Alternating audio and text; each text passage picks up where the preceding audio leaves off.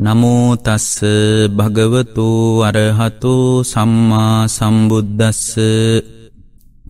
නමෝතස්ස භගවතු අරහතු සම්මා සම්බුද්ධස්ස නමෝතස්ස භගවතු අරහතු සම්මා සම්බුද්ධස්ස කාරුණික පින්වත්නී අදත් සිතනිවන බුදුබණ දේශනා මාලාවේ තවත් එක්තරා දේශනාවකින් ජීවිතය අඩු පහඩු ජීවිතයේ ගැටලු ජීවිතේන පසුබෑම් ඉදිරියේ තමන්ගේ චින්තනය සකස් කරගන්න ඕන විදිය මේ විදිේ කාරණා බොහෝමයකට පිළිසරණ වන කරුණු ගණනාවක් බුදුරජාණන් වහන්සේගේ දේශනාව තුළින් සකස් කරගන්න උත්සාහ කරන කාලේ. ඇත්තටම බුදුරජාණන් වහන්සේගේ දේශනාව පසුතැවමින් පීඩාකාරී ජීවිතයක් ගෙවන නොසන්සිදෙන ආසාවන් පස්සේ හඹාගෙන යන මිනිස්සු දමනය කරන්නට බෙහෙවින්ම උපකාරවන ඖෂධයක් වගේ දෙයක්. ඒ බව අපි ප්‍රථමයෙන්ම තේරුම් ගන්න අවශ්‍යයි මොකද බුදුරජාණන් වහන්සේගේ ධර්මයේ ස්වභාවය අපි තේරුම් ගන්න අවශ්‍ය වන නිසා. තින් බුදුරජාණන් වහන්සේ නමක් පහළ වෙලා කියන පනිවිඩය පරිපූර්ණ වසයෙන්ම මිනිසුන්ගේ අභ්‍යන්තරයේ සහ බාහිර ස්වරූපය සකස් කරගන්නටත් ඉතාම සතුටින් සැනසිල්ලෙන් තමන්ගේ ජීවිතය ගෙවලදාන්නටත් උපකාර කරගන්න පුළුවන්. එතොට එහෙම උපකාර කරගන්න අදහසක් පහළ වෙන්නේ පවා ඥානවන්ත මිනිසුන්ට. මේ උදෑසන කාලේ මෙදේශනාව ශ්‍රවණය කරන බොහෝ දෙනෙකුගේ චිත්ත සන්තානයේ කැළඹුණු ස්වභාවය යම්තාක් දුරට හරි අඩුකරගන්න මේ දේශනාව උපකාර වේවි කියලා අපි හිතනවා. එමොකද මිනිසුන්ගේ දෛනික චර්යාව පසුතැවීමෙන් පීඩාවෙන් ගෙවිලදාන නිසා.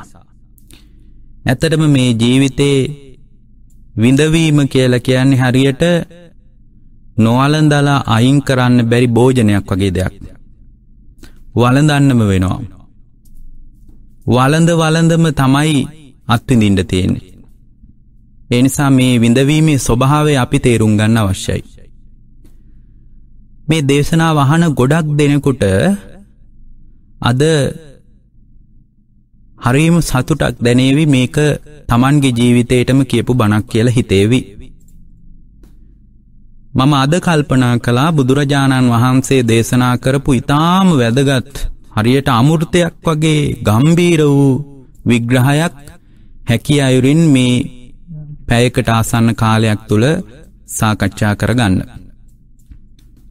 එතකොට මේ කාලය තුළ ඔබට මේ දේශනා වහගනින්නකොට ඔබගේ අභ්‍යන්තරය තුළ ඒ කාන්ත වසයෙන් සතුටක් ඇතිවෙනවා මයි. පළවෙනියෙන්ම කියන්න අවශ්‍යයි ජීවිතයේ පසුතැවමින් ඉන්න මිනිසුන්ට ජීවිතේ දරුවෝ සලකන්නේ නෑ දරුවන්ගේ ප්‍රශ්න තියෙනවා කියල පීඩාවෙන් ඉන්න මිනිසුන්ට. දෙමව්පියන්ට චෝදනා කරන දරුවන්ට රැකියාවේ විවිධ ප්‍රශ්න තියෙන මිනිස්සුන්ට අද මේ ඉරිද දවසේ නිදහසේ ගෙදරට වෙලා ඉඳලා මේ අහන දේශනාව බොහෝ කොට අමුෘත්තයක් වේවි කියලා හිතනවා.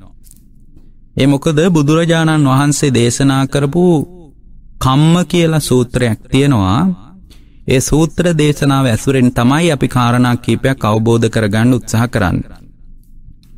බුදුරජාණන් වහන්සේ එක තැනකදි දේශනා කරනවා පින්නත් මහනින මම ඔබට කියල දෙන්නම් පැරණි කර්මය කියල කියන්නේ මොකක්ද කියලත් මම කියල දෙන්නම්. ඒ වගේම පින්වත් මහනිනි මම ඔබට නවකර්මය මොකක්ද කියලත් මම කියල දෙන්නම්. ඒ වගේම පින්වත් මහනිනි කර්මයේ නිරුද්ධ වෙන්නේ කොහොමද කියලත් මම කියලා දෙන්නම් කර්මය නිරුද්ධවීමේ ප්‍රතිපදාවමකක්ද කියලත් මම කියලා දෙන්නම් කියනවා. එතවට උන්හන්සේ කාරණා හතරක් ගැන කියනවා. මහනිනි මම පරණ කර්මය ගැනත් කියන්නම් අලුත් කර්මය ගැනත් කියන්නම් කර්මය නිරුද්ධ වෙන විදිහත් කියන්නම් ඒකට අදාළ ප්‍රතිපදාවත් කියන්නම් කියල උන්වහන්සේ දේශනා කරනවා තං සුනාත මහනිනි හොඳට අහන්න කියනවා.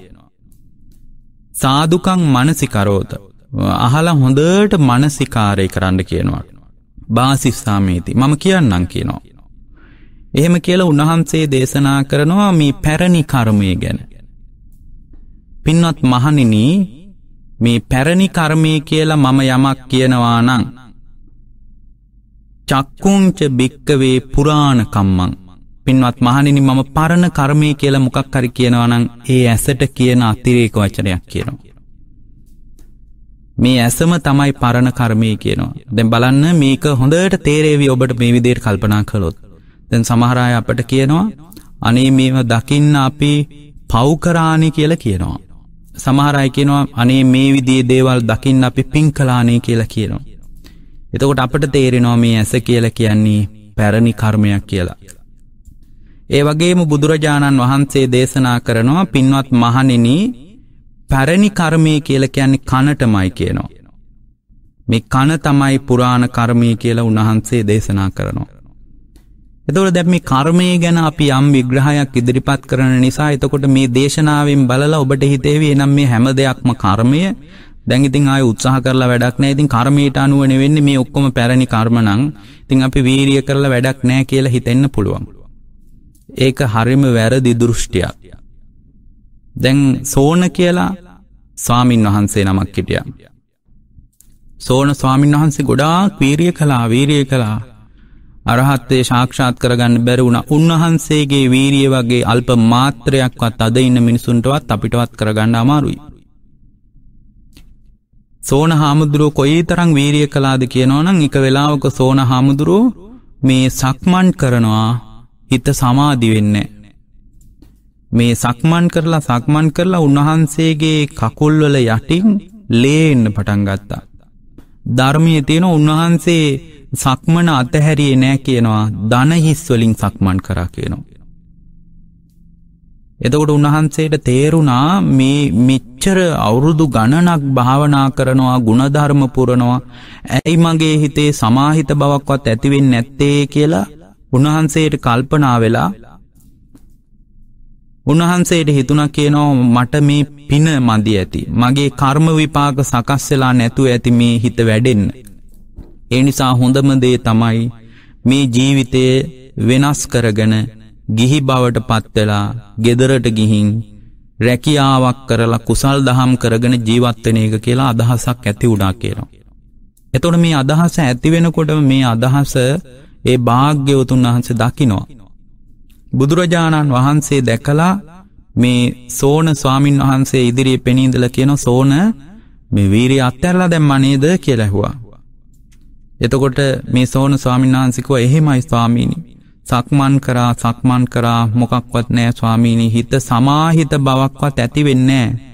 බැරිම තැන ස්වාමීණි මම කල්පනා කලා ගෙදරට ගිහින් කුසල් කරගන්න හොඳයි සෝන ගෙදර ගිහින් මොකද කරන්න හිතානින්නේ ස්වාමීනි මම ඒ කාලෙ වීනාවාදකෙක් ගෙදරට ගිහින් වීනාවා යන්ඩ හිතානින්. හොඳයි සෝන වීනාව වයනවා නම් තත් හොඳටම තද කළොත් වයන්න පුළුවන්ද බෑ ස්වාමීනි ගොරෝසුයි කියනවා හඬ. හොඳයි සෝන වීරි අත්තරලම දැම්මුත් වයන්න පුළුවන්ද වීනාවේ තත් හොඳටම ලිහිල් කරල දැම්මුත් වයන්න පුළුවන්ද කෙලෙහවා. එතොටක ස්වාමීනි එතකොට කොහොමත් වැයෙන්නේ අර ගොරෝසු හඬවත් එන්නේ නෑකවා. හොඳයි සෝන වීනාව වයනෝ නම් මොකද කරන්න ඕ නැහවා. ස්වාමීනි වීනාවෙ තත් සුසර කරන්න ඕනිකිවා. එතකොට භාග්‍යතුන් වහන්සේ දේශනා කරනෝ සෝන වීරිය වැඩි කරන්න එපා කියනවා. මොකද වීරිය වැඩිකරොත් කලබල වෙනවා හිත. වීරිය අඩුම කරන්නත් එපාකිව අඩුකරොත් කුසීතකමට යනවා හිත. මධ්‍යස්ත වීරියක් කුරු කරන්න කිව්වා ටික කාලයයිගේ ධර්මය අවබෝධ කළා. එතකොට සෝන ස්වාමින් වහන්සේ අවබෝධය ශාක්ෂාත්වෙන්නේ නෑ කියල වීරී අත්හැරල දැම්මනං අපි මේ දේශනාව ශ්‍රවණය කරන වෙලාවෙත් සෝනු ස්වාමින් වහන්සේ සමහරවිට මේ භවයට ඇදිලගින් ඉපදිමින් මැරමින් මේ සංසාරය තුළ ඉන්න පුළුවන්. සෝන ස්වාමින් වහන්සේ සදාකාලිකම නිවුණා මේ චක්‍රාවාටේ නෙමේ ත්වී සහස්සේ ලෝකධාතුවවත් කොහෙවත් උන්වහන්සේ නෑ සදාකාලිකවම නිමිලගිය. එතකොට කර්මයට කියලා බාරදීලා හිටියොත් ආධ්‍යාත්මික මාර්ගයවත් වැඩෙන්නේ නෑ. ඒ වැඩෙන ක්‍රමය අපට තේරෙන්න්නෙත් නැහැ ඒක බුදුරජාණන් වහන්සේලා දකින නිසා උන්වහන්සේලා ලෝක සත්‍යයා කෙරෙහි අසීමිත කරුණාවෙන් එක මතු කරලා පෙන්නනවා. ඒ නිසා ඔබේ ජීවිතයටත් මේ ධර්මයේ ලංකර ගනිද්දි ඔබ නිතරම පරිස්සං වෙන්න කල්පනා කරන්න මේ හැම දෙයක්ම කර්මය කියලා කිව්වට ජීවිතේ පසුබෑමක් ඇති කරගන්න එපා. මේ දේශනාව අවසාන වෙනකොට ඔබට තේරේවි මේ දේශනාව කොයි තරම් සුන්දරද කියලා. ඊළඟට භාග්‍යවතුන් වහන්සේ දේශනා කරනවා පින්වත් මහණෙනි මේ නාසයම තමයි පැරණි කර්මය කියනවා. දැන් මේ නාසයම තමයි පැරණි කර්මය කිව්වහම අපිට ඒක එච්චර තේරෙන්නේ දැන් ඔබට මන් තේරෙන්න මෙහෙම කියන්න. ඔබ දන්නවා සුනීත කියලා ස්වාමින් වහන්සේ නමක් මේ ආර්ය ශාසනය හිටිය. උන්වහන්සේට ගත කරන්න උනේ ඉතාම දුෂ්කර ජීවිතයක්. ධනවත් මිනිසුන්ගේ කුලවත් මිනිසුන්ගේ වැසිගිලි කැසිගිලි කරන තැන් පිරිසුදු කරන්න යුනි.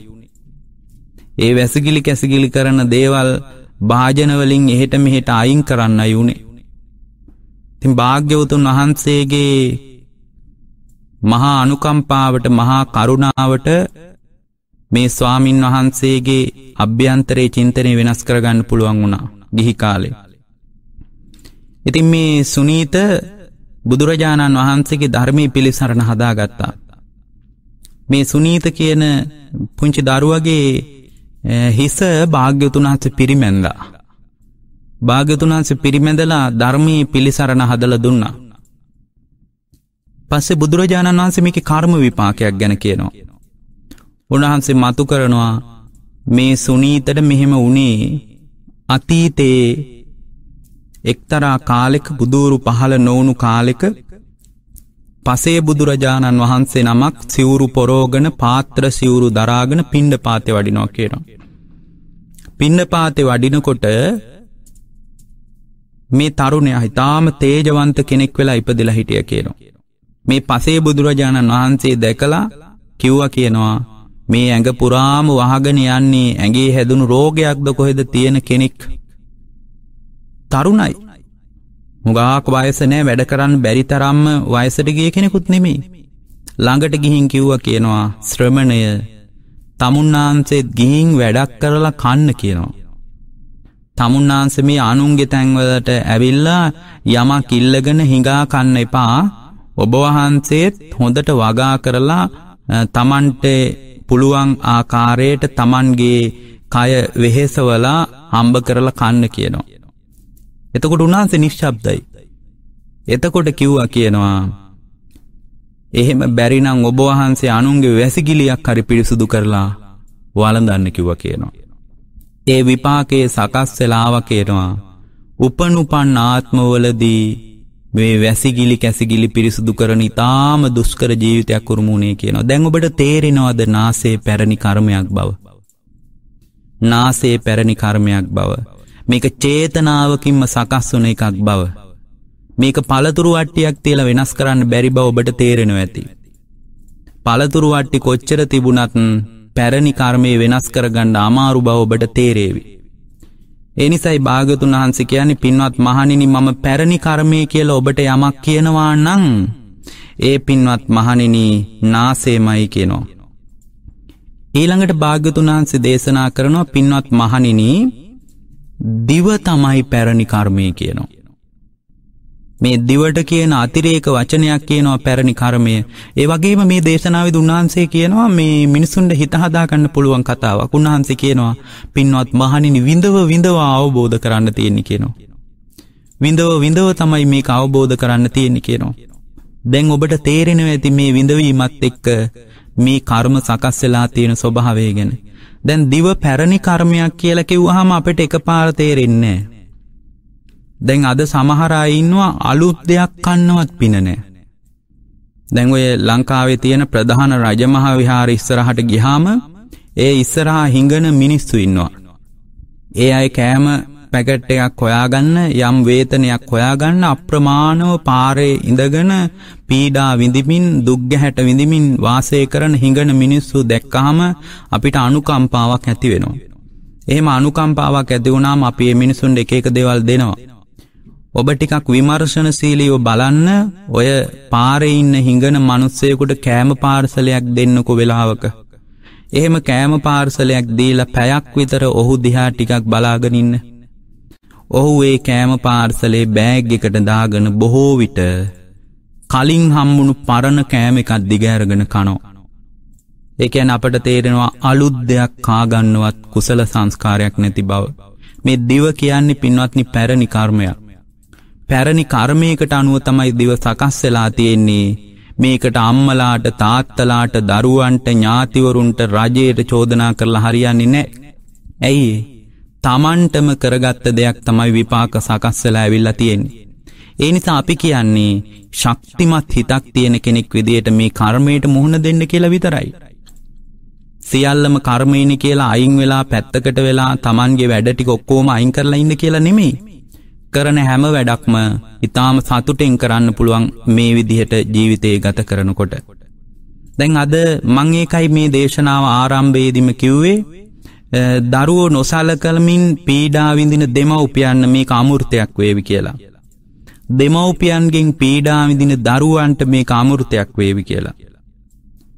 තමන් රැකියා කරන ස්ථානයෙන් පීඩාවිඳින මිනිසුන්ට මේ අමෘතයක් වේවි කියලා. ඒ නිසා ඔබ හොඳට මේ දේශනාව මනසිකාරය කළොත් ඔබට සැලකයුතු ගැඹුරු දර්ශනික අවබෝධයක් සකස් කරගන්න පුළුවන්. එතොට උන්හන්සේ කියනවා පින්වත් මහනිනි මේ දිව කියන්නේ පැරණි කර්මයක් පින්වත් මහනිනි විඳව විඳවා තමයි අවබෝධ කරන්න තියෙන්නේ. චේතනාවලින්ම සකස්වුන එකක් කියනෝ මේ දිව. පින්වත්නී මේ ගෞතම බුද්ධ ශාසනයේ හිටියා එක්තරා ස්වාමින් වහන්සේ නමක් උන්වහන්සේ ගිහිකාලේ තමන්ගේ අම්මගේ කුසටාවට පස්සේ මුළු පවුලම බංකොලොත් වුණා. කාණ්ඩවත් නෑ පවුලට. ඉට පස්ස මේ ගෙදර මේ සිටු පවුලක් මේ සිටුතුමා ගිහින් බමුණුන්ගෙන් ඇහුව බලන්න අපිට මෙච්චර සල්ලි තිබුණ අපට මෙච්චර ඉඩ කඩන් තිබුණ ඔක්කොම බංකොලොත් වුනා කිව්වා. ඊට පස්ස මේ බමුණෝ හොඳට කල්පනා කරලා බලලා අතීත අනාගතය ගලපමින් මොවුන් කිව්වා ඔබගේ දුවගේ කුසේ දරුවෙක් ඉන්නවා ඒ දරුව තමයි අනතුර. ඒ නිසා දුව එලවන්න කිව්වා. ඉතින් මේ සිටුවරයා කේන්තියෙන් ගෙදර ගිහින් කිව්වා උඹ නිසා තමයි අපිට ඔක්කොම නැති වුණේ උඹ ඵලයන් කිව්වා.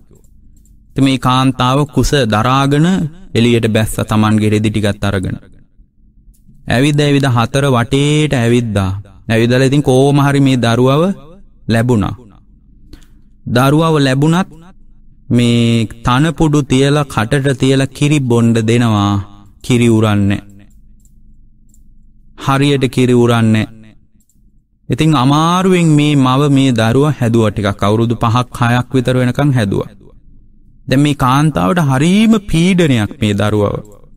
ඇයි දෙමවපියෝ නැති වුණා සුව පහසුවට ගත කරපු ජීවිතය අහිමි වුණා සෑහෙන දේවල් මේ කොල්ල නිසා අහිමි වුණා කියලා කල්පනා කරලා මේ පුතා ළඟට ගෙනල්ල ඔලු අතගාල කිව්වා දැන් නුඹ නිසාමං හරියට විඳෙව්වා.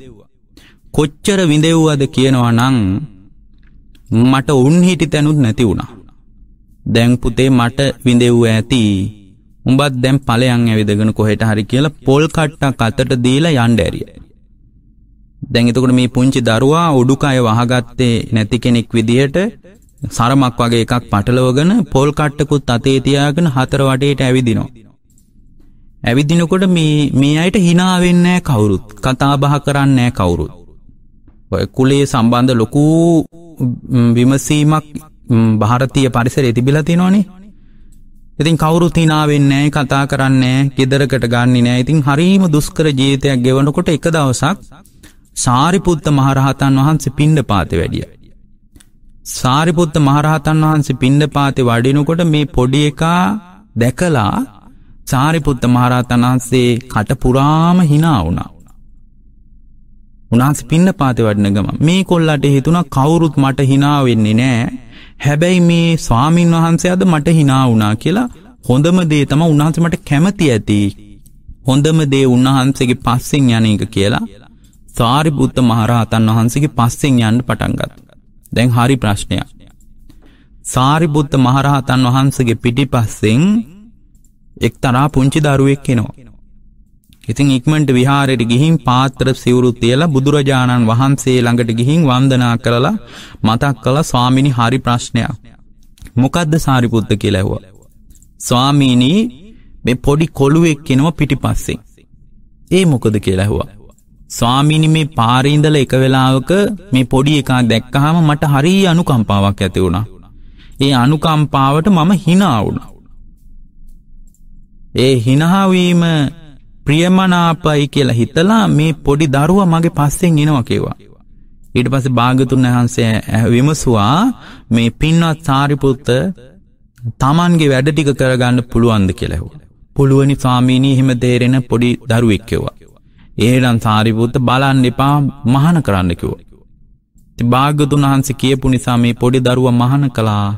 මහාන වුණත් කණ්ඩ නෑ කියනවා.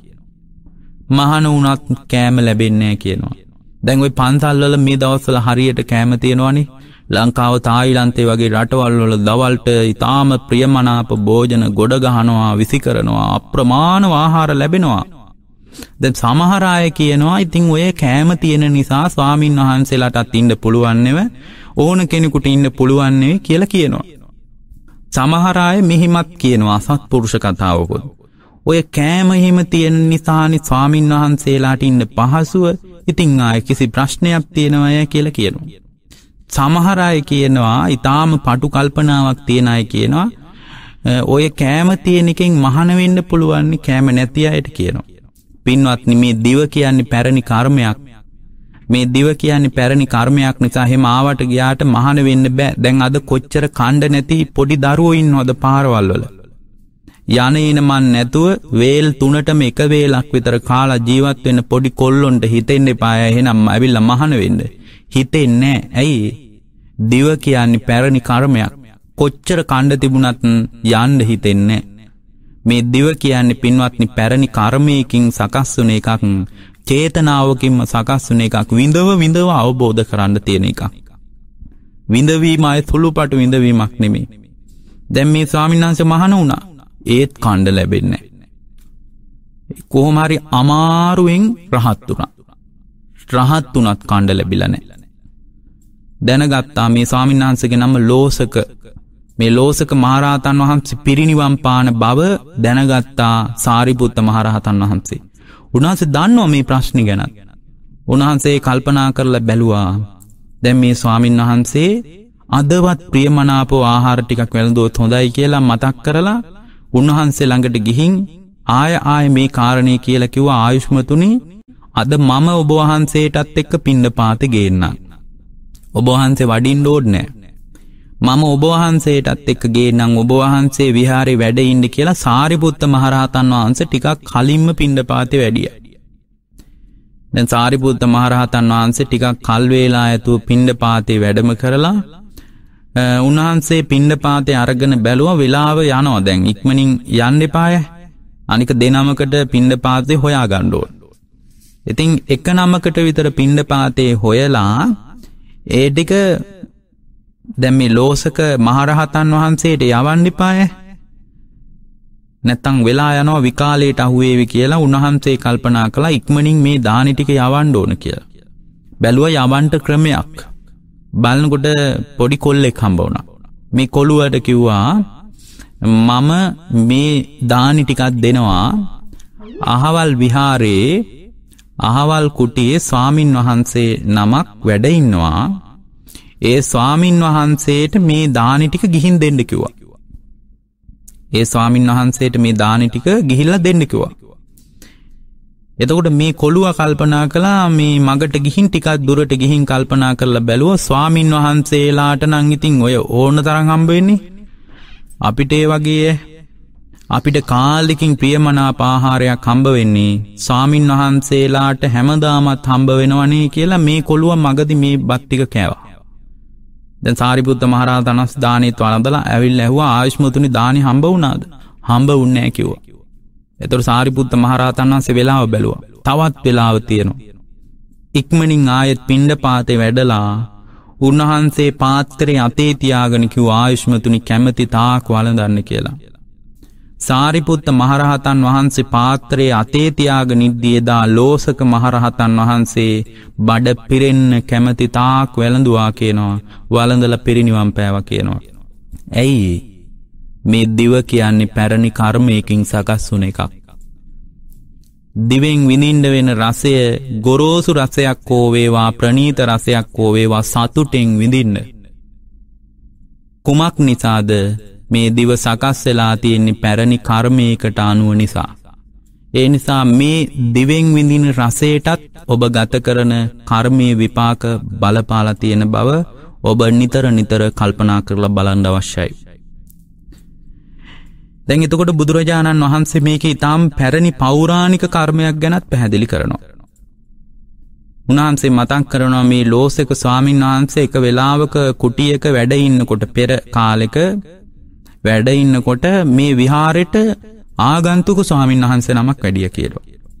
දැම ආගන්තුක ස්වාමීන් වහන්සේ නමක් වැඩම කළහම මේ ලෝසක ස්වාමීන් වහන්සේ පෙර කාලෙ.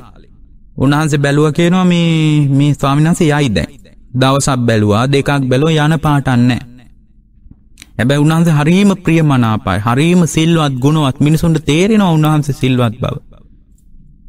ඉතිං අර ගමේ දායක මිනිස්සුකවා අනේ ස්වාමීනි අර ආගන්තුක වැඩිය ස්වාමින් වහන්සේත් ඔබ වහන්සේ පිණ්ඩ පාත වඩිනකොට වැඩම කරගෙන ඉන්න කිව්වා.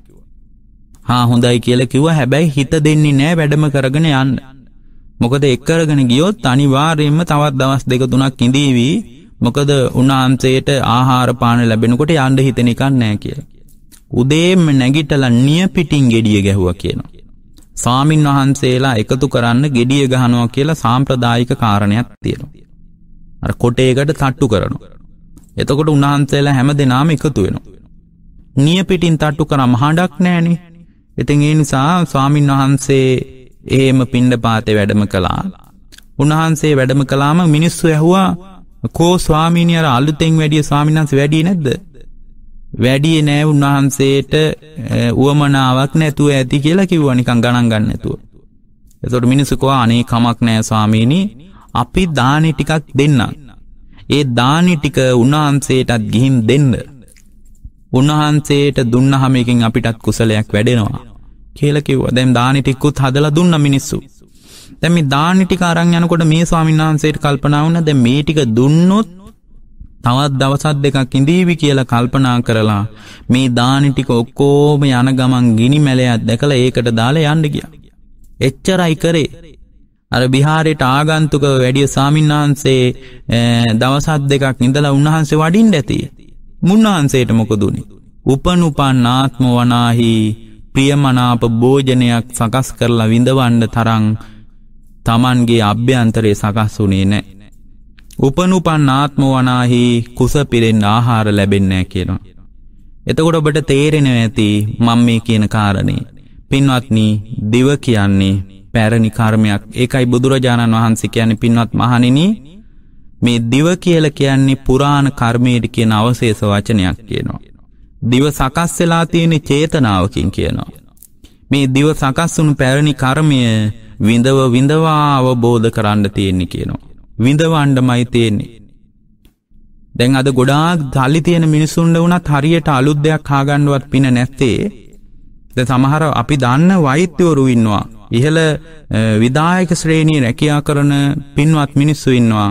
ඒ අයි කියන ස්වාමීනි අපට කන්නවත් වෙලාවක් නෑන අපි එච්චර වැඩ කියනවා. එතකොට දැන් කන්නවත් වෙලාවක් නැතුව වැඩ කරනවා නං ඒ වැඩ කිරීම ගැන අපිට ප්‍රශ්නයක් තියෙනවා. මේ හැම දෙයක්ම කරන්න අපේ ජන විවහාරයේ තියෙනවා මේ බඩවියත රැකගන්න කියලා. එතකොට බඩවියත රැකගන්න මේ හැම දෙයක්ම කරද්දි ඒක රැකෙන්න්නවත් වෙලාවක් හදාගන්න බැරිනං එහෙම රැකියාවකින් වැඩක් තියෙනවද වැඩක් නෑ පින්වත්න්නේ. එහෙම රැකියාවක් කරන එකේ කිසිම තේරුමක් නෑ. ඒ නිසා පින්වත්නී ඔබ හොඳට තේරුම් ගන්න මේ දිව කියල කියන්නේ පැරණි කර්මයකින් සකස් වන එකක්.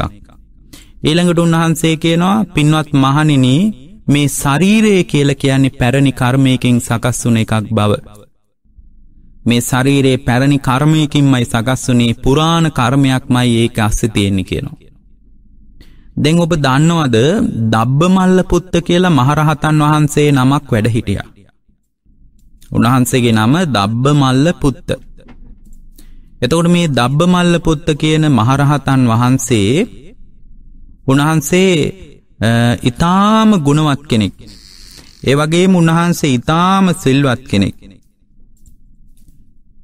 බුදුරජාණන් වහන්සේගේ දේශනාවෙන් බැලූහම උන්වහන්සේ පිළිබඳ සඳහන් වෙන කරුණුවලින් තේරෙනවා උන්වහන්සේ සිහිනින්වත් මේ තුන සේවනය කරලා නෑ කෙනවා. සිහිනයකින්වත් කාමේ වරදවා හැසිරීමේ චේතනාවක් පහළ වෙලා නෑ කියනවා. දම් සභාවෙදි දබ්බමල්ලපුත්ත මහරහතන් වහන්සේට අභූතයෙන් චෝදනා කලා භික්‍ෂුණියක් දූෂණය කලා කියලා. එතුරු උන්වහන්සේට ආපු චෝදනාව තමයි භික්‍ෂුණියක් දූෂණය කිරීමේ චෝදනාව. උන්වහන්සේ නිශ්ශබ්ද වැඩ හිටිය. හැබැයි උන්වහන්සේ ඉතාම සිල්වත් ගුණවත් කෙනෙක් දැන් අද වනත් බොහෝම ගුණගරුක ගුණ යහපත් මිනිස්සු ඉන්නවා අභූතයෙන් චෝදනා ලබනය. එතකොට ඒ අය අපිට කියනවා අනේ ස්වාමීන් වහන්ස අපිටම නේද මේ විදිේ කතා හැදෙන්නේ අපි මෙච්චර හොඳට ඉන්නවා. අපි මෙච්චර හොඳට ඉන්න උත්සාහ කරනවා මොකද මේ අපිටම මේ වගේ කතා හදන්න කියලා කියනවා. අපි මෙච්චර ගුණවත්ව ඉන්නවා කියලා කියනවා. ඒ ගුණවත්ව ඉන්නේ අලුත් විදිහටනේ. ඒක නව කර්මයක්. දැන් ඔබට නව කර්ම ගැන කියද්දි තේරෙයි. එතකොට ඒ බිඳවීම් සකස් වෙන්නේ පැරණි කර්මයකට අනුව කියලා මිනිසුන්ට තේරෙන්නේ නැහැ. මේ මේ අකුසල් සහ මේ විඳවීම් සකස් වෙන්නේ පැරණි කර්මයකට අනුව බව තේරුම් ගත්තාම මොන දෙයක් වුණත් සතුටෙන් ඉන්න පුළුවන්. මොන දෙයක් තමන්ගේ ජීවිතයට බල පැවැත්වනත් ඉතාම සතුටෙන් සැනසිල්ලෙන් ජීවිතය ගෙවන්න පුළුවන්. මොක දෙයාගේ අභ්‍යන්තරේ නිතරමයාට කියනවා ඔබට පැරණි කර්මයක් තමයි මේ සකස්සලා ආවේ කියන කාරණය. එතකොට උන්වහන්සේ කියනවා මේ ශරීරය කියන්නේ පැරණි කර්මයක් බව. එතකොට දබ්බමල්ලපුත්ත මහරහතන් වහන්සේ උන්වහන්සේට එන චෝදනාව තමයි භික්ෂුණියක් දෝෂණය කලා කියන කාරණය. ඉතින් පස්සේ භික්‍ෂු සංඝයා අතරින් මේ ගැන කසුකුසුවක් ඇති වෙලා බුදුරජාණන් වහන්සේට මේ කාරණයේ මතු කරලා ඇහුව ස්වාමීනි මෙතරම් සිල්වත් මෙතරම් ගුණවත් මේ දබ්බ මල්ලපුත්ත කියන මහරහතන් වහන්සේට භික්‍ෂුණියක් දූෂණය කරා කියලා චෝදනා කළයයි කියලැහුවා. ස්වාමීනි උන්වහන්සේ සිහිනෙන්වත් මේ තුන සේවනය කරලා නැත්තං එත්තාරම් ගුණවත් උත්තමයකුට මේ වගේ චෝදනාවක්කාවයයි කියලැහුවා. එතකොට භාග්‍යවතුන් වහන්සේ කියනවා පින්වත් මහනින අතීතයේ එක්තරා කාලේක භික්‍ෂු සංඝයා වැඩඉන්නකොට මේ දබ්බමල්ල පුත්තත් ඒ කාලේ පැවිදි වෙලා හිටියාය ඒ පැවිදි වෙලා ඉන්න කාලෙ සිල්වත් ගුණවත් භික්‍ෂුවකට සිල්වත් බව දැන දැන අභූතයෙන් චෝදනා කලාය කියලා. ඒක විපාකේ විදියට මේ අරහත්වය ශාක්ෂාත් කරගත්ත භවය තුළ පවා භික්‍ෂු සංඝයා මැදදි අභූතයෙන් චෝදනා ලැබුව කියනවා. දැන් බලන්න මේ විග්‍රහය වර්තමානය අභූතයෙන් චෝදනා ලබන මිනිසුන්ට ඖෂධයක් වගේනේ වර්තමානයේ නිවැරදි වෙලා ඉන්න උත්සාහ කරනවාය කියලා හිතන මිනිස්සු. අපි මෙච්චර ගුණධර්ම පුරනවා ගුණවත් මේ වගේ දේවල් කරදි අපිටම නේද මෙහෙම චෝදනායෙන්නේ කියන මිනිසුන්ට එතකොට තේරුම් ගන්න පුළුවන් මේ පැරණි කර්ම විපාකවලට අනුව සකස්තුන දෙයක් කියලා. හරීම සතුටෙන් ගුණධර්ම පුරාගෙන ඉන්න පුළුවන්. ජීවිතේ පසුතැවෙන් නැතුව කම්පනයක් හදාගන්න නැතුව ජීවිතේ වැටෙන් නැතුව කනපිට හරව ගන්න නැතුව ඉතාම සිහියෙන් වෙනදටත් වඩා හොඳට ජීවිතය ගෙවන්න පුළුවන්. ඒකයි භාග්‍යවතුන් වහන්සේ දේශනා කරන්න මේ ශරීරයේ කියල කියන්නේ පැරණි කර්මයක් බව. ඔය සාරිබුද්ධ මහරහතන් වහන්සේගේ ශිෂ්‍ය ස්වාමීන් වහන්සේ නමක් හිටියා උත්තර කියලා. උන්වහන්සේ සාමනේරයන් වහන්සේ නමක්.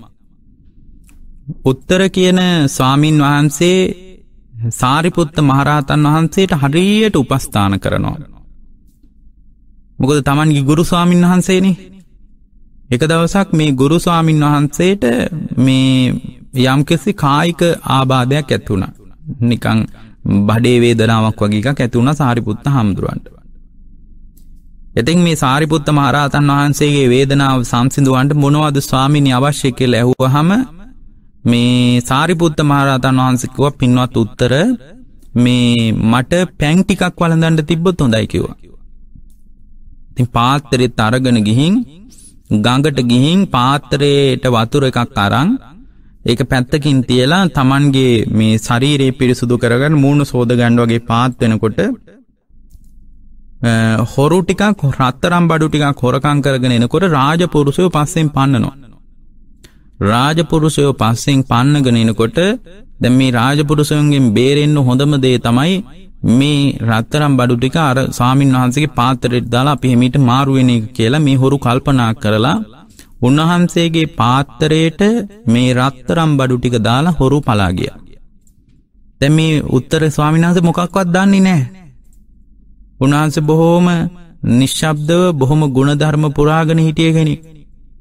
රාජපුරුෂය ඇහෝ වටපිට බැලුවා හොයාගන්න බෑ කොහෙටද ගිය පැත්තක්වත් පේන්නේ හැබැයි ගඟේ ඉන්නවා පැවිද්දෙක්. ගිහින් ඇහුවා මේ ස්ත්‍රමණයන් වහන්සේ හොරු ටිකක් යනවා දැක්කද නෑ කිව්වා. උන්වහන්සේ දකින්න නැතුව ඇතිව. උන්වහන්සේ මේ ශරීරයේ පිරිසුදු කරමින් හිටියේ. ඊට පස්සේ වටපිට බලලා මේ උන්වහන්සේගේ පාත්තරයේ ගම් ඉවුරේ තියෙනවා.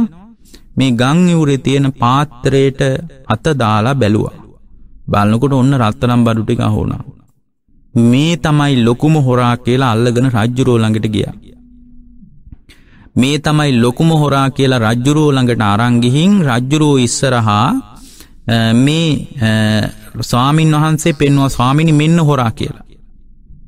එතකොට මේ රජ්ජුරුවන්ගේ ප්‍රධාන ඇමතියෙක් ඉන්නවනි වස්සකාර කියලා ඔහු ඉතාම ප්‍රසිද්ධ ඇමතිවරයෙක්නේ. වස්සකාර ඇමතිවරයා මේ උත්තර කියන සාමින්හන්ස දන්නවා.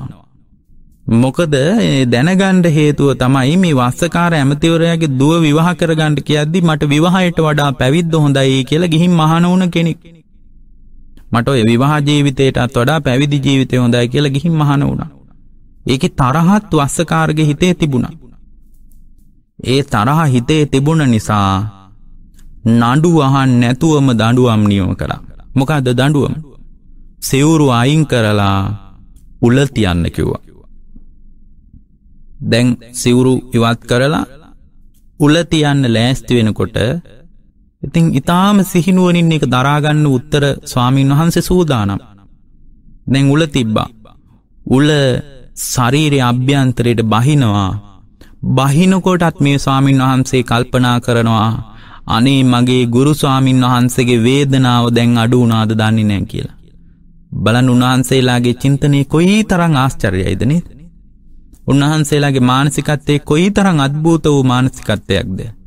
උන්වහන්සේගේ ශරීරයේ පසාරු කරගෙන උල බහිද්දිත් කල්පනා කරනවා මගේ ගුරු ස්වාමින් වහන්සේ වේදනාවෙන් හිටියා. උන්වහන්සේගේ වේදනාව දැන් කොහොමද දන්නේ නැහැ කියලා උන්වහන්සේ ඒක ගැන හිතනවා.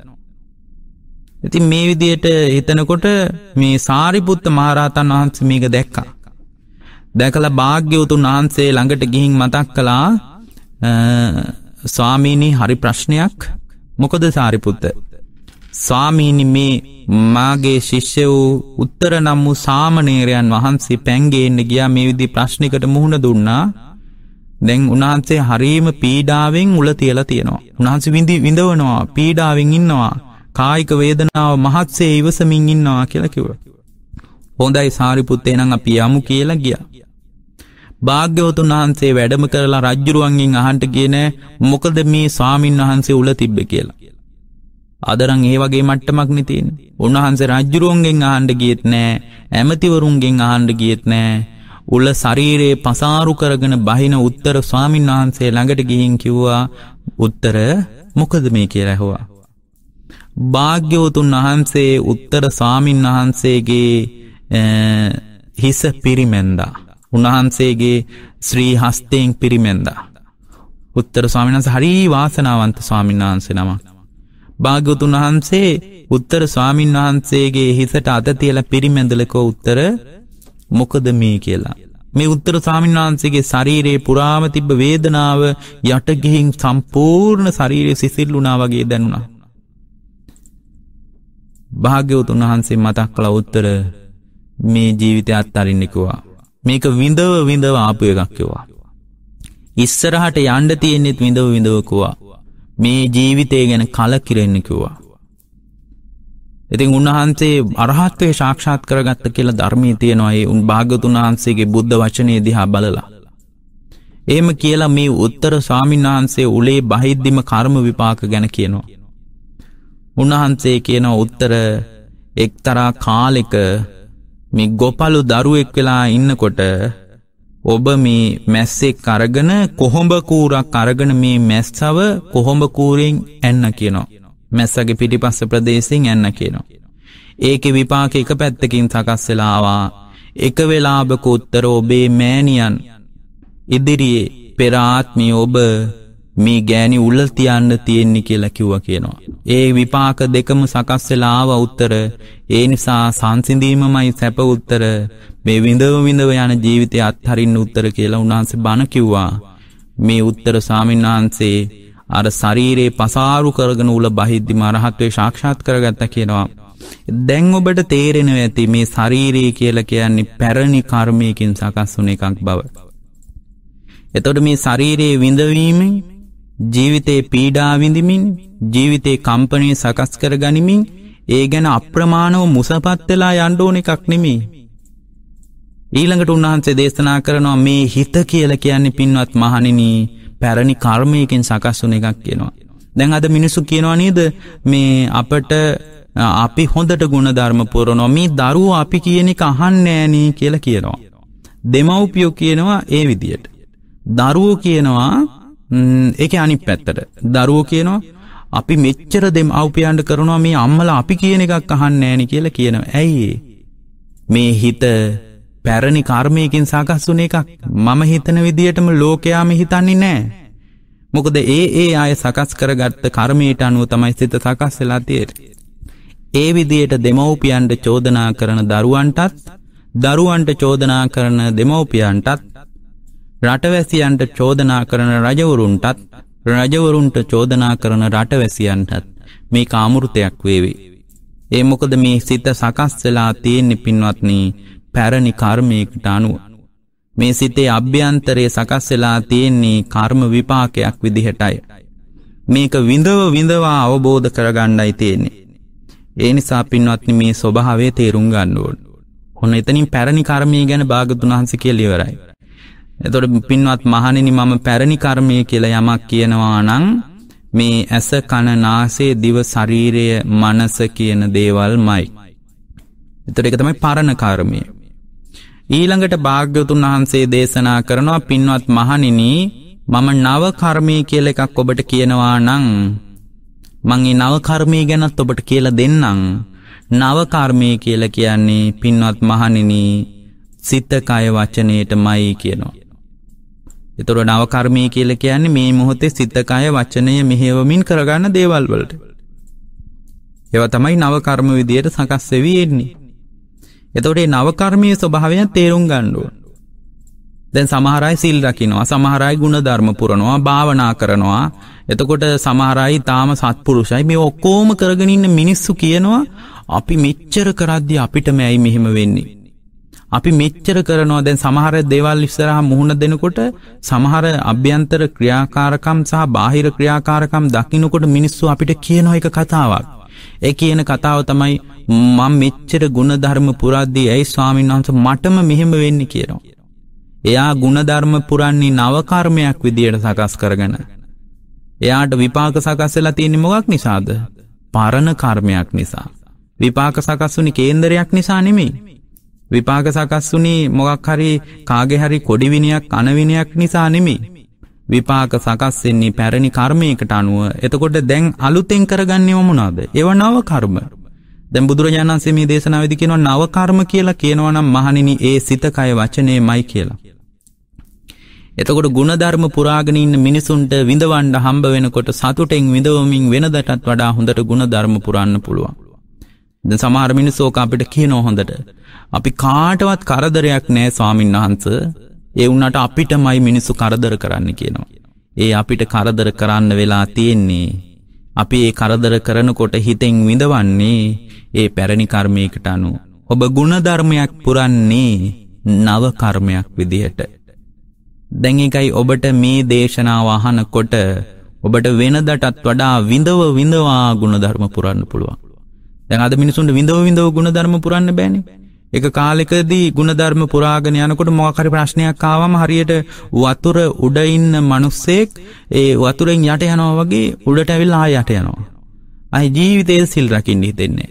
ජීවිතේට ගුණධර්ම පුරන්න හිතෙන්නේ. ඇයි ඒගොල්ලෝ හිතනවා මේ මේ කරන එක මේ වෙලාවෙම මේ අනිත් පැත්තට හම්බ වෙන්න ඕන කියලා. මේ කරන හැම දෙයක්ම කන පිටට ඒ පැත්තෙන්ම අපිට දැන් ආයෙ ලැබෙන්න ඕන කියලා මිනිස්සු හිතනවා. එහෙම හිතන්නේ මිනිසුන්න මේ සසර ගැන අවබෝධයක් නැති නිසා. දිග කාලයක් මැරමින් නිපදමින් ආපු තත්ත්වයක් අපට තියෙන්නේ කියලා මිනිසුන්ට තේරෙන්නේ නැති නිසා එයා හිතනවා මේක මේක කරපු ගමන්ම අනිත් පැත්තට අපිට ආයෙ ලැබෙයි කියලා. පින්වත් නියම ලැබෙන්නේ නැහැ. ඒවා පින්වත්නි නව කර්ම විදියට තමයි සකස් කරලා තියෙන්නේ. ඒවා සකස් වෙන්නෙත් ඒ විදියටයි. එතකොට මේ මොහොතේ සිත මෙහෙවමින් මේ මොහොතේ කය මෙහෙවමින් මේ මොහොතේ වචනය මෙහෙවමින් කරන හැම කර්මයක්ම ඔබට ආය අනිත් පැත්තට යම් කාලෙකදී පැරණි කර්මයක් විදියට හේතු ඒවි. එක තමයි ලෝකේ නව කර්ම කියලා කියන්නේ. එතකොට දැන් ඔබට තේරෙනවා පැරණි කර්මී කියන්නේ මොකක්ද කියලාත් ඔබට තේරෙනවා. නව කර්මී කියන්නේ මොකක්ද කියලත් ඔබට තේරෙනවා. එනිසා ඔබේ ජීවිතයේ අර්ථ සම්පන්නව ගෙවල දාණ්ඩත් ජීවිතයේ සතුටින් සැනසිල්ලෙන් ඊ타ම තෘප්තියෙන් ගත කරගන්නටත් මේ පැරණි කර්මය ගැන තේරුම් ගැනීම වටිනවා. නව කර්මය ගැන තේරුම් අරගෙන නැවත නැවත කුසල සංස්කාර එකතු කර ගැනීම පිණිස අප්‍රමාදී වීමත් ජීවිතයට වටිනවා. තුර මේ දෙකෙන්ම Tamanගේ ජීවිතයට යහපතක් කරගන්න ඥානවන්ත මිනිස්සු දක්ෂ වෙන්න ඕන. ඒකට ඥානයක් තියෙන්න ඕන. ඒකට පිවිතුරු වූ මානසිකත්වයක් තියෙන්න ඕන. එම මානසිකත්වයක් තිබුණාම ඒ අයට සිතකය වචනයේ මෙහෙවමින් අකුසල් කරගන්න තියෙන ඉඩකඩ බැහැර වෙලා යනවා. පීඩා විඳවිඳ දරුවන්ගේ ප්‍රශ්න විඳවිඳ කම් කටළුවලට මුහුණ දෙමින් ආර්ථික ප්‍රශ්නවලට තදෙන් මුහුණ දෙමින් ඒ අය හැම වෙලාවකම සිතකය වචනයේ මෙහෙවමින් නවකර්ම එකතු කරගන්නවා. අපට යන යන තැන නවකර්ම කුසල් පැත්තට එකතු කරගන්න පුළුවන් පින්වත්නි. පන්සලට ගිහින් බෝමල්වේ තියෙන කොලයක් ඉතාම පිරිසුදු චේතනාවෙන් අයින් කළත් එයාට නවකර්මයක් රැස්සෙනවා. එකට ලොකූ සල්ලියක් තියෙන්ඩ ඕන්න නැහැ. ලොකු ආර්ථික පසුබිමත් තියෙන්ඩ ඕන්න නැහැ. එයාට වෙහෙරට ගිහින් පොදු ඇසිගිලි කැසිගිලිය පිරිසුදු කරන්න අදහසක් පහළ වුණොත් එයා ඒ වැසිගිලි කැසිගිලි පිරිසුදු කරන වෙලාවේ සිතකය වචනය කියන තුන්දොරින්ම නවකර්ම සකස්වෙනවා. ඒ අයට බොහෝකොට යහපත පිණිස පිළිසරණ පිණිසේ නවකර්මය හේතු වෙනවා. සමහරයට තියෙන අවාසනාව තමයි පැරණි කර්මයකින් විදවනවා නව කර්ම කරගන්න හිතෙන්නේ. දැන් බුදුරජාණන් වහන්සේගේ කාලේ විශාකාව විවාහ කරලා දුන්නේ මිගාර සිටු පවුලට. විශාකාව අවුරුදු 6න් විතර සෝවාන් වුණ දැරිවියක්. එතකොට ඇයට යම් අවබෝධයක් තියෙනවා. මිගාර සිටු පවුල අන්තිම මිත්‍යා දෘෂ්ටිකයි.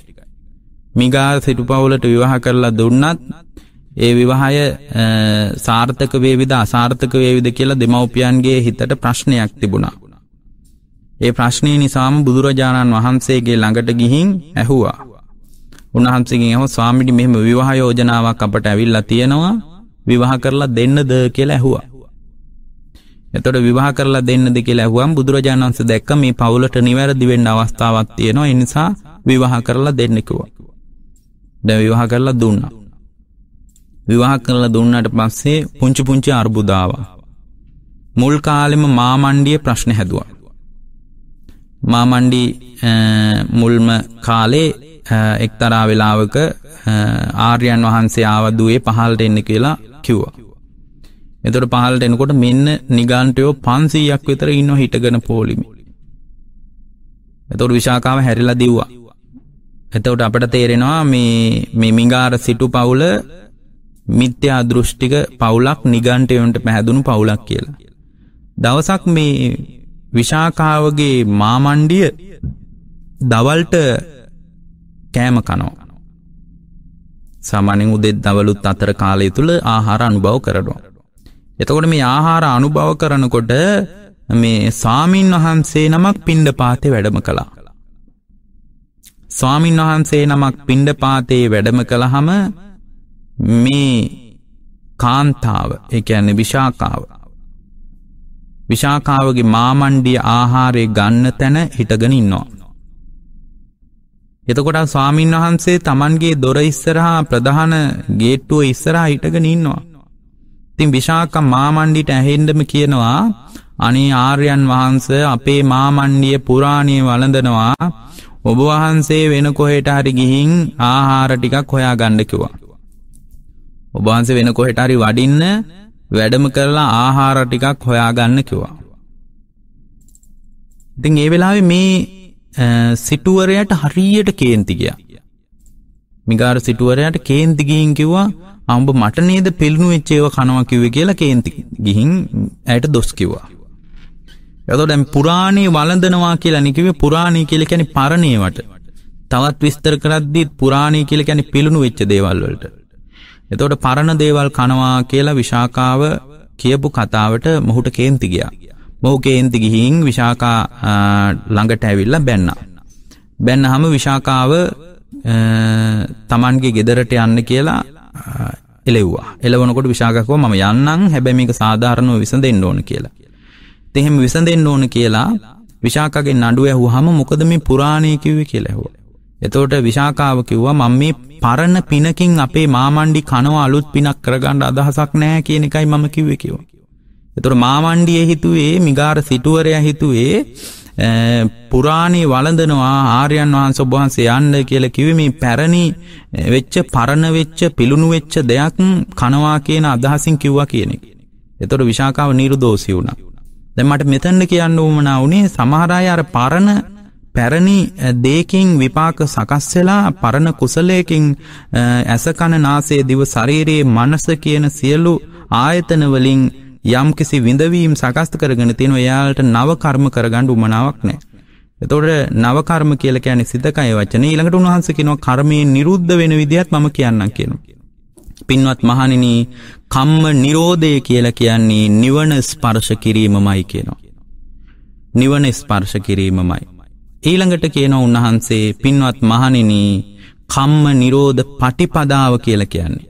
කර්මය නිරුද්ධ කරන ප්‍රතිපදාව කියලා කියන්නේ ආර්ය අෂ්ටාංගික මාර්ගයමයි කියලා කියනවා. එතකොට දැන් මේ කාරණා හතරම දැන් ඔබට තේරෙනවා ඇති. පැරණි කර්මී කියලා කියන්නේ ඇස කන නාසය දිව ශරීරයේ මනසට නව කර්ම කියලා කියන්නේ සිත කය වචනේ මෙහෙවමින් වර්තමානයේ තුල සකස් කරගන්න දේවල් වලට කර්ම නිරෝධය කියලා කියන්නේ සිත කය වචනේ මෙහෙවමින් කර්මයේ ක්ෂය කරලා දමමින් නිවන ස්පර්ශ කරන එකට කම්ම නිරෝධ පටිපදාව කර්මය නිරුද්ධ කරලා දාන ප්‍රතිපදාව කියලා කියන්නේ ආර්ය අෂ්ටාංගික මාර්ගයට. ඒ නිසා මේ දේශනාව ඔබට සිත් මනාසේ තමන්ට ප්‍රියමනාප වූ සිතින් මේ දේශනාවේ අර්ථය තමන්ගේ ජීවිතයට එකතු කර ගනිමින්. ජීවිතය ඉතාම සුව පහසුවෙන් සහ මේ විඳවීම් ඉදිරියේ ඉතාම සතුටින් සැහැල්ලුවෙන් ගත කරන්නට මේ කර්මය පිළිබඳ යථාවබෝධය සකස් කර ගැනීම එදිනෙදා චර්යාවට උපකාර වේවා කියලා අපි ඔබට ආශිර්වාද කරනවා. ඔබ හැම දෙනාටම තෙරුවන් සරණ ලැබේවා.